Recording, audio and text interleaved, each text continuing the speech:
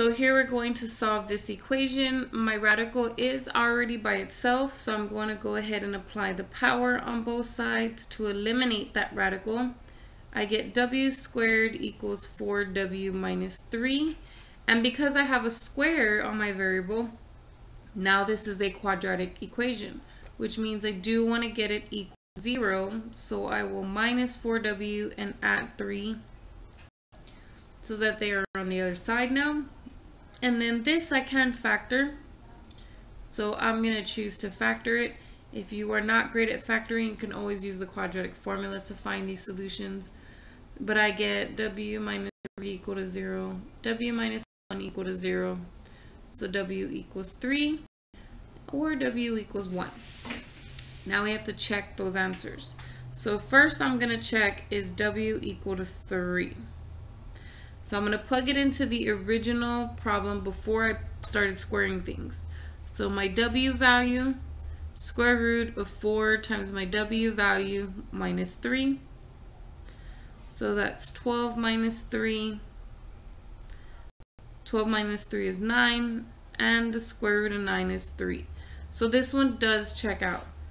Now let's come over here and let's check W equal to 1. So again, plugging it into the original, my W value equal to the square root of 4 times my W value minus 3. I get the square root of 4 minus 3, which is the square root of 1, which is 1. So this answer checks out as well. So I have two solutions, 3 and 1. Now let's look at this next example. The radical piece is already by itself, so I can go ahead and square both sides. I get v squared equals 2v plus 15. I can move these terms over to the left-hand side because it is a quadratic now because of the v squared. And I can factor this into v minus 7 and v plus 5. So if I set each factor equal to 0, I get v equal to 7 and v equal to negative 5. And now I need to check each solution. So first I'm going to check is v equal to 7. So we have 7 equals square root of 2 times 7 plus 15. So we get 14 plus 15.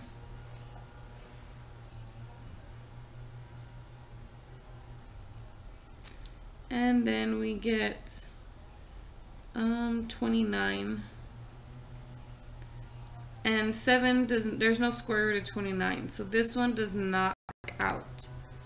I'm just verifying with my problem that I have done it correctly. Oh, 7 and 5 do not make 15, now do they?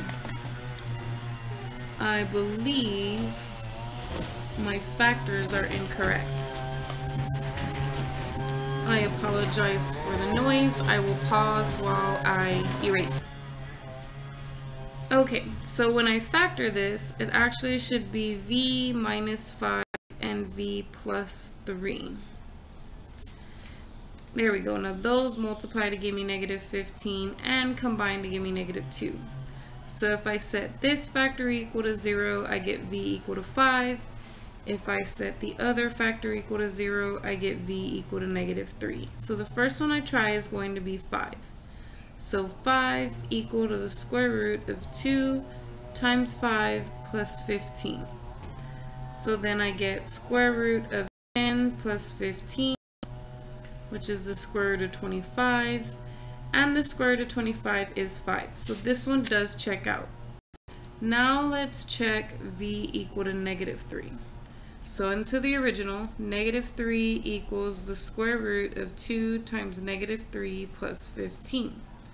Negative 3 equals the square root of negative 6 plus 15. Negative 3 equals the square root of 9. And then negative 3 equals the square root of 9 is just 3.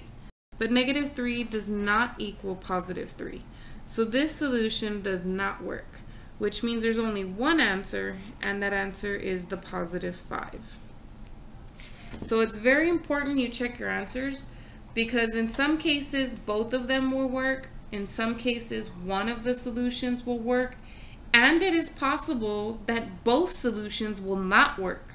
And so then you would have no solution.